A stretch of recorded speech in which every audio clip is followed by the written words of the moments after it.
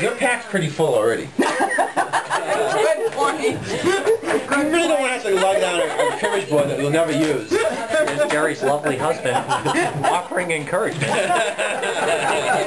Throw it, he says, throw it. You, I know what happened. You'll get it home. You'll get the cribbage board home if you win, and you'll put it in a really safe place. And, and- and next year you won't be able to bring it back. 'cause You won't be able to find it. Wow. It's going on display in the trailer so Hiker Bob knows that it's, Oh. it's being revered oh, That she's properly. assuming already, man. Yeah, yeah, yeah. That overconfidence could be her downfall, Jay. I know it was mine.